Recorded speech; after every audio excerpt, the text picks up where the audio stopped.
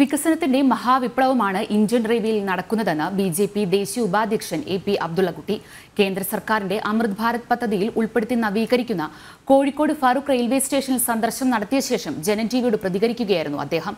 ഏഴ് ദശാംശം അഞ്ച് ഒൻപത് കോടി രൂപയുടെ നവീകരണ പ്രവർത്തനമാണ് ഫാറൂഖ് സ്റ്റേഷനിൽ നടത്തുന്നത്. രാജ്യത്താകെ നാൽപ്പത്തൊന്നായിരം കോടി രൂപയുടെ റെയിൽവേ വികസന പദ്ധതികളാണ് കേന്ദ്ര സർക്കാർ അമൃത് ഭാരത് പദ്ധതിയിൽ കൂടി നടപ്പിലാക്കുന്നത്. ഫറൂഖ് റെയിൽവേ സ്റ്റേഷനിൽ ഉൾപ്പെടെയുള്ള പദ്ധതി ഉദ്ഘാടനം പ്രധാനമന്ത്രി ഓൺലൈനായി നിർവഹിച്ചു.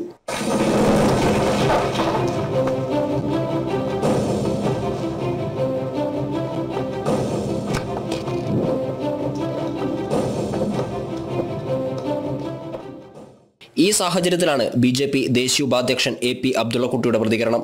പ്രവേശന കവാടം പാർക്കിംഗ് സൗകര്യം A C non A C കാത്തിരിപ്പ് കേന്ദ്രം ടോയ്ലറ്റ് മേൽക്കൂര തുടങ്ങിയവയുടെ നവീകരണമാണ് ഫറൂഖ് റെയിൽവേ സ്റ്റേഷനിൽ നടക്കുന്നത്. പാലക്കാട് ഡിവിഷനിലെ ഒമ്പത് റെയിൽവേ സ്റ്റേഷനുകളാണ് അമൃത് പദ്ധതിയിൽ ഉൾപ്പെടുത്തി കേന്ദ്ര സർക്കാർ നവീകരിക്കുന്നത്. സത്യത്തിൽ വികസനത്തിന്റെ ഒരു മഹാവിപ്ലവമാണ് ഇന്ത്യൻ റെയിൽവേയിൽ നടക്കുന്നത്. അമൃത് പദ്ധതിയിൽ ഉൾപ്പെടുത്തിക്കൊണ്ട് നരേന്ദ്രമോദി ഒരു വലിയ ഉദ്ഘാടന മാമാങ്കം തന്നെ നടത്തുകയാണ്. കേരളത്തിലെ ഫറൂഖ് സ്റ്റേഷൻ ഉൾപ്പെടെ കണ്ണൂർ ഫറൂഖ് നിരവധി സ്റ്റേഷനുകൾ റെയിൽവേ സ്റ്റേഷൻ എയർപോർട്ടുകളെക്കാൾ മനോഹരമാക്കി മാറ്റാൻ പോവുകയാണ്. ഏകദേശം ഇന്ത്യയിൽ അഞ്ഞൂറ്റി അമ്പത്തിനാല് റെയിൽവേ സ്റ്റേഷനുകൾ പുനർവികസനത്തിലേക്കാണ് കടക്കുന്നത്.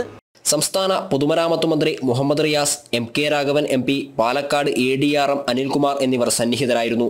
നവീകരണത്തിന്റെ ശിലാസ്ഥാപനം മുഹമ്മദ് റിയാസും എം കെ രാഘവനും ചേർന്ന് നിർവഹിച്ചു. വികസിത ഭാരത് വികാസ് റെയിൽവേ എന്ന വിഷയത്തിൽ വിദ്യാർത്ഥികൾക്കായി നടത്തിയ ഉപന്യാസ ചിത്രരചന പ്രസംഗ മത്സരത്തിലെ വിജയികൾക്കുള്ള സർട്ടിഫിക്കറ്റുകളും വിതരണം ചെയ്തു. നവീകരണ പ്രവൃത്തി ഉദ്ഘാടനത്തോടനുബന്ധിച്ച് വിവിധ കലാപരിപാടികളും അരങ്ങേറി.